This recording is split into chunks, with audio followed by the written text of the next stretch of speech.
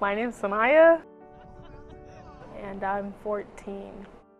Sparkling, vivacious, she's extremely bright, she shows a lot of empathy, um, she's just an all-around great girl. I'm a freshman. It's interesting. What are you interested in now or your favorite subjects or thinking about studying? I like school. I have like all A's. She's very goal-oriented. So have you given some thought of what you want to do after high school? I want to be a lawyer.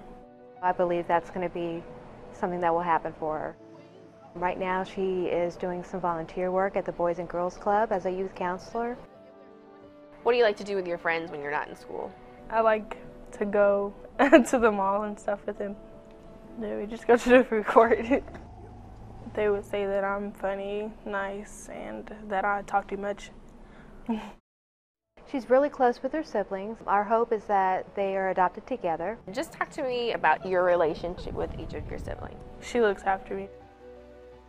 He's funny. He's good at basketball and football and stuff. She definitely plays the big sister role with him. He's her little heart. you can tell that they're a family unit, regardless of the fact that they're not together in placement. They definitely look out for one another, and they're they're just a sweet sibling group. I just see so much potential in her. I mean, she has a, a desire to help others, and she's going to make something really special out of herself when she gets older.